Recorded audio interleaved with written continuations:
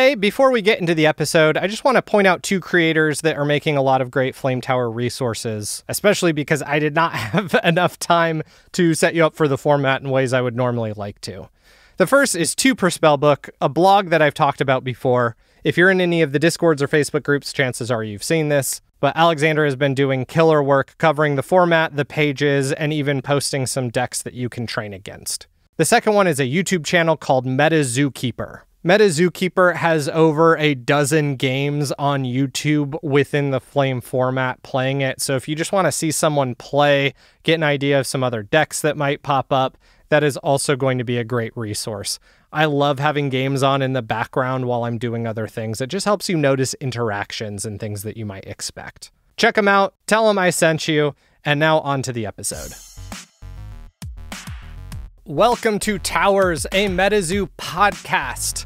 Flame Tower is upon us. It's happening this weekend in Texas. It's going to be so hot, and I'm very excited for it.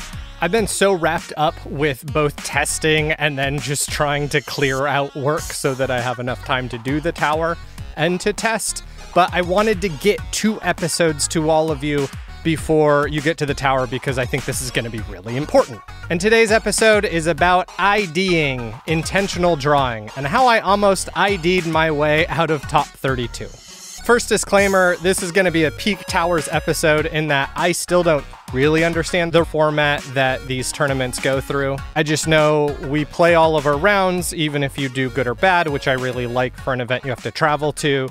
Based on your ranking, you're going to get paired with other people of similar ranks, and you can try to ride this into going to day two to top cutting.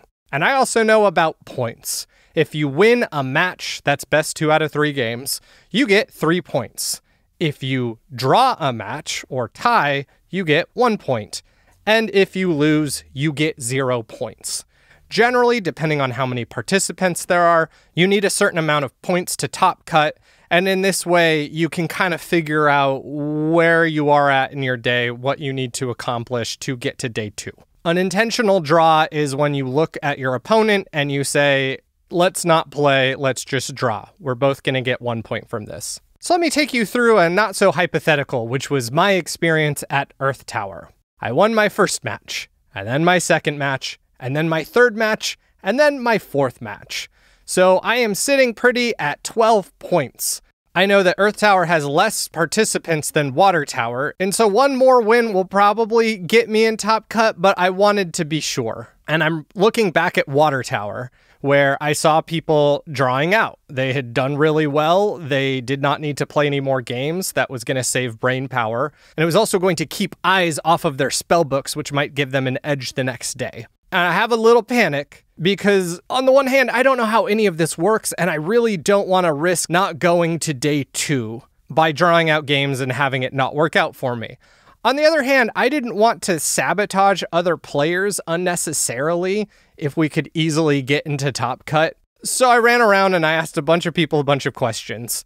Judges and tournament organizers, of course, cannot give you advice on what you should do, uh, but they can give you the amount of people and you can go and plug it into calculations. But I didn't really understand those calculations. Uh, I talked with a bunch of people, and for the most part, people were like, look, you should be able to draw the last three games that will be the equivalent of another win and you'll be fine. You will get to tomorrow. At the time, I was like first or second place. I was at the top tables position. And so it seemed safe. Oh, but I was nervous. And something people kept mentioning to me is they said there's a player who doesn't ID. Like he'll play you if you go against him. So keep an eye out for that. If you need to draw three games to get to the next day and you get paired against this player, and they beat you, you're now in trouble. You're going to need to play out another match and hope you win. But everyone impressed to me that, like, with all the people there, it was very unlikely I was going to face that player. So I sit down for game five, not quite sure what to do. I kind of want to play it out. After all, I had won my previous four matches and felt really good about them. And if I just needed to win one more, three shots at winning one more match seemed likely. But I was sitting across from a member of the Ludicrous Lads of Loveland, which is a team that is near and dear to my heart. And we chatted a bit, and he said, Do you want to ID? He was cool if I didn't want to. This is really important. You cannot pressure or manipulate your opponent into IDing. It has to be something you both present and agree to. And I said, Sure, let's do it. And we had a really nice time. We had a chat. It was really nice to give my brain a rest. I saw the appeal of drawing out. Time went up. I ate a snack. Things were good. We wait for the pairings for round six, which was going to be the second to last. And a fellow walks up to me and says, Hi, I don't ID. Do you want to play a feature match? Remember that player that people had warned me about before? Well, that's Michael Galarza, and I got paired with Michael Galarza. Once more, there was only one game after Michael, so I had to play Michael, and if he beat me, that meant if I didn't win my next match, like there was a good shot I wasn't going to make it to day two. However, if I beat Michael, I was guaranteed a spot in the next day, and I'd never done a feature match before.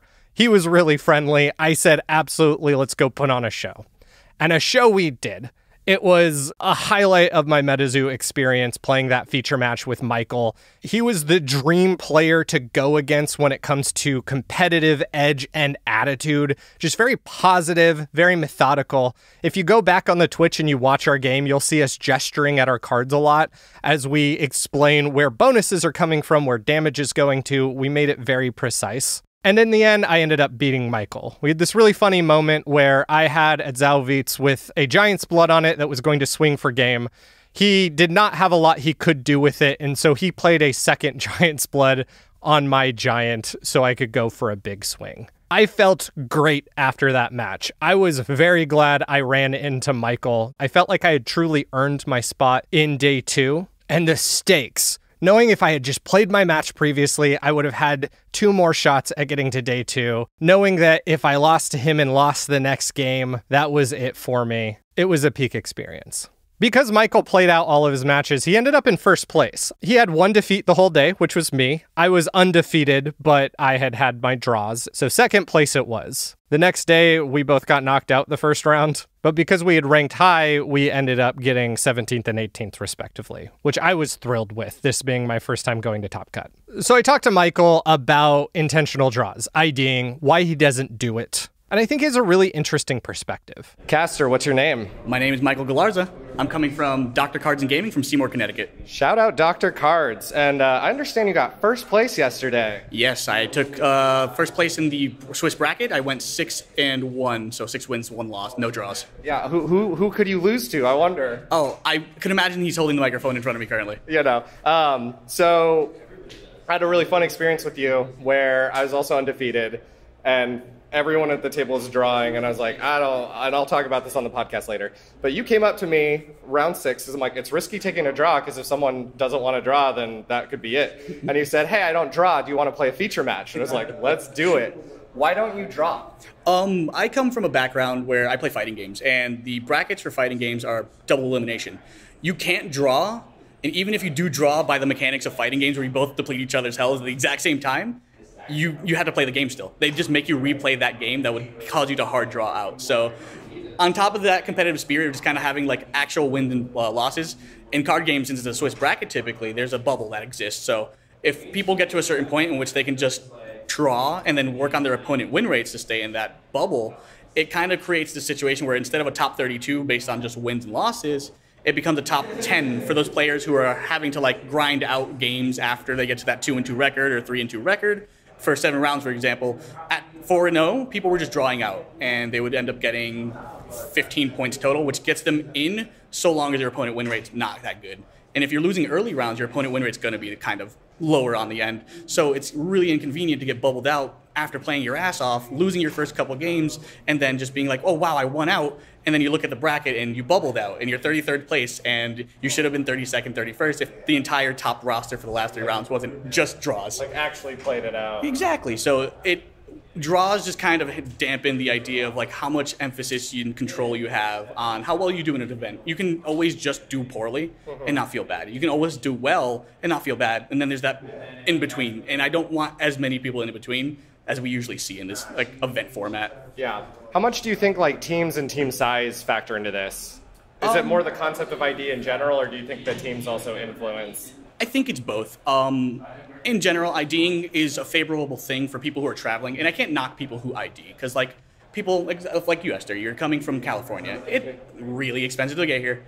You're coming to New York. You're not gonna just because you can maybe get into top, try it out that way other players and things like that, they're they're okay with it. They want to guarantee those slots. So sometimes they're more. It's funny because you think it's about guaranteeing your spot, but most of these players are playing like a dice game. Yeah. They're like they're four and zero. Oh, maybe I can just get in if I just draw out from here. It's not a guarantee, and you still played well. Like I honestly felt relieved when you came to me and you're like, "Let's play," because I was like, "Okay, this is a huge risk," and I already had the title of an episode of a podcast in my mind of how I missed out on top 32 undefeated. I love that. Right, and so when you that. came and played, I was like, because you could have knocked me out of top 32 and Absolutely. altogether. Yeah. Instead, we got first and 2nd mm-hmm. um, so no, that, that was a great. Yeah. To, to, answer the question on the team idea, yeah. um, it's beneficial, of course, because like when we're we're working with a team, we work with an owner, of course. Like that person's here to sponsor the team, bring them to events, to make the money back, to make the next event happen, right? Right. But there has to be some sort of thing happen.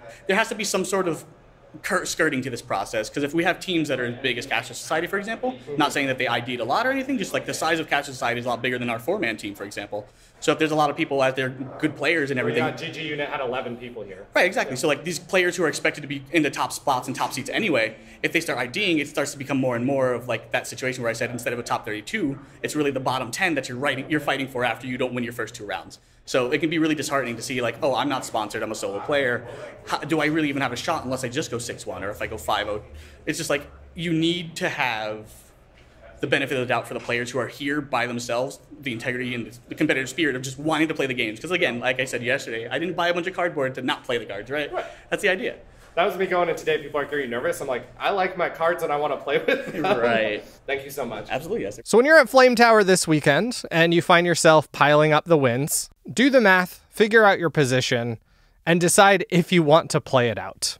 Looking back in hindsight, everybody else who drew, which was most of the top tables, they got to day two just fine. There was not as much risk as I was worried about. But you should be prepared for this situation and add it to your to do list before the tower. Luckily, once you make it to day two, you have to win to get ahead. If you lose, you're out. That's it for this episode. Wanted to keep it fairly simple. We have one more coming up that covers a very key concept that you will need to utilize at Flame Tower, so keep an eye out for that. Can't wait to see you all there. Until next time.